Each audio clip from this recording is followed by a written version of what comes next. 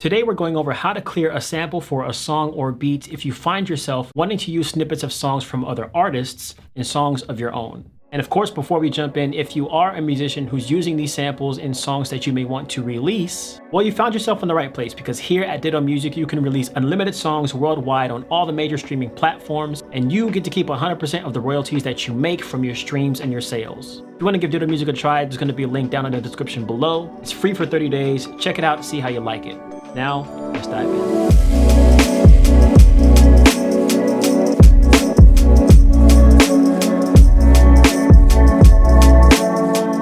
So if you've been planning to sample somebody else's record or a song that's not yours, it's very important that you legally clear this sample so that you can use and release this music out to the world. But first, what classifies as a sample? So a sample can be classified as an element of any pre-existing song being used by another artist in a song of their own, so they don't actually own that music. Essentially, you're taking a clip of audio from somebody else's song and you're putting it in your own song, whether it's the sample just playing outright or you're chopping it up to make it sound a little bit different. One of the biggest recent examples that you can probably think of is Jack Harlow's First Class.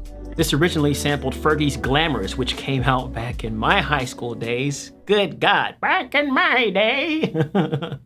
But it's important not to confuse a sample with an interpolation. An interpolation is where a musician re-records a melody or harmonies from a very popular song instead of just outright taking a sample of that song. And you're mimicking it note for note. So it's exactly the same, only you're the one that's recording it. Now, whether or not you want to sample or use an interpolation is up to you, but each of these have their own requirements for being able to legally use them in your music. So if you do want to use samples and you don't want to find yourself being sued up the wazoo, how do you do that? First of all, I just want to say there are zero loopholes you can do. There is no set time limit as like, oh, if I use 10 seconds of this audio, then I can use the sample, or if I reverse it backwards and chop it up a certain, then yeah, they're not gonna be able to tell. No, you always have to have permission. Just go check on Vanilla Ice when he released Under Pressure and he didn't get permission from Queen or David Bowie. So to avoid becoming a one-hit wonder yourself, maybe that was kind of rude. You're gonna have to acquire two different types of licenses. One is a copyright license for permission to use the master recording, and this is often owned by the artist or the label. And two is a copyright license for permission to use the underlying composition. This is often controlled by the songwriter or the publisher. For a sample, both of these will be legally required.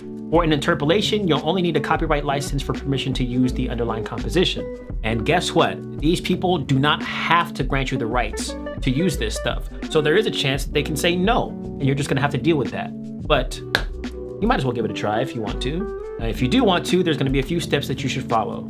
Step number one is going to be apply for clearance well in advance. The big reason why you want to do this is because this can be a lengthy process in and of itself. And I know how difficult this might be when you're in the throes of creation and you just happen to find a sample that you think this would be so dope to work on this album or in this song. It's hard to get that creative bug out of you, but if you can control it, please. It's going to take a long time for it to be approved, to go through all the necessary steps that it needs to go through, and you to have all the necessary paperwork, everything that needs to happen, okay? The last thing that you wanna do is finish a song, you think it's really amazing, but you haven't even gotten permission to use that sample yet. And so you have plans to release the song next month. But guess what?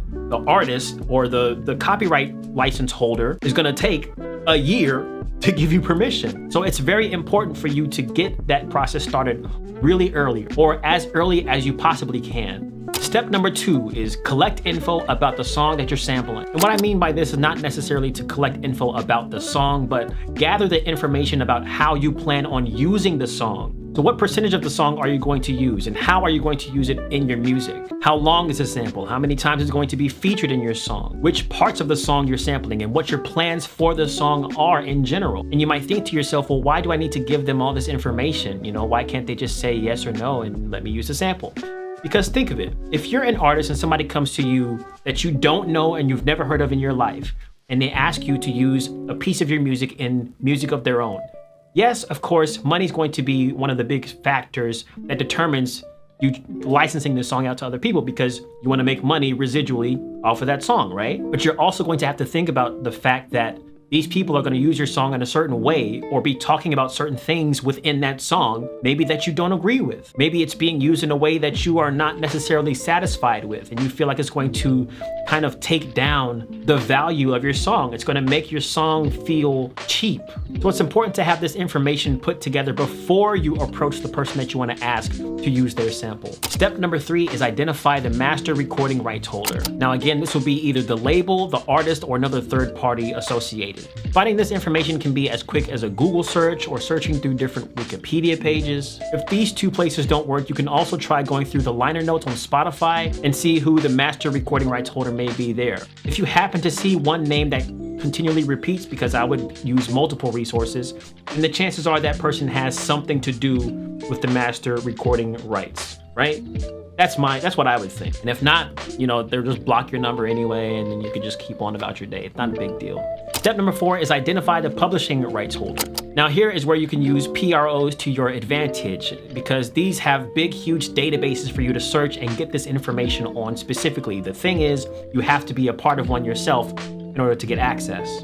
So in the US, there's ASCAP, BMI, SESAC, Harry Fox, and I think those are the, the, main ones in the US. In Canada, you have SOCAN, S-O-C-A-N, and in the UK, it's PRS. Now, luckily, Ditto Music Publishing can sign you up on your behalf so that you can get access to these databases and records that you can sort through, since it's only available to society members. Otherwise, if you don't join one of these PROs and you don't have access to these databases, you can use Google once again to get the information that you need. However, it can be a little bit tricky to get this information online. Now, finally, step number five is to contact the rights owner and then negotiate your price.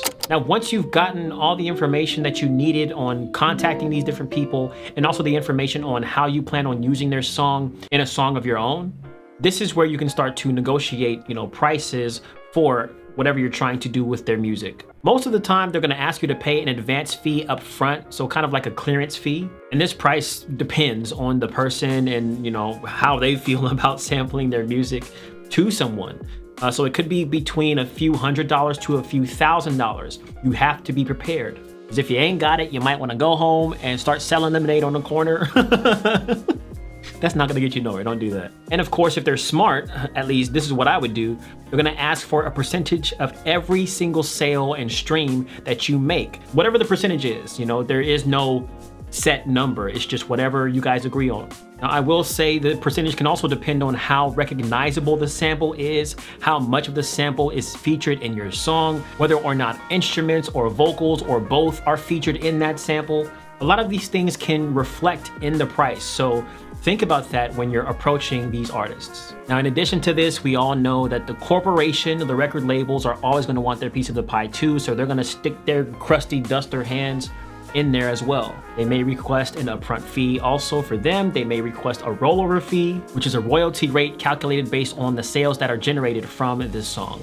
Now we all know what's gonna happen if both rights holders say, no, you can't use this. Then that just means you can't use it.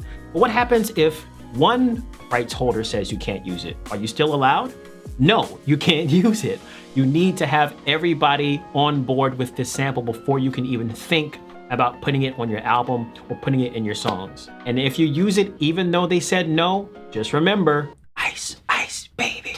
Doom, doom, doom, doom, doom, doom, doom. And you will never have another lick of success after that because you will be going to the bank trying to get some money to pay these people back because they sued the mess out of you, all right? It'll be on the next episode of I'm a Celebrity, Get Me Out of Here. So however you choose to sample your songs or interpolate your songs, one thing is for sure, you're always going to need permission. So thank you for watching today's video about how to legally clear samples in 2023 for your beats and your songs. If you like this video, be sure to leave a like down below. Leave a comment also if you have any questions on the sampling process or even comments about Ditto Music Publishing and how that can help you in your music career. Subscribe to this channel for more videos like this coming in the future. I am Legend and stay legendary.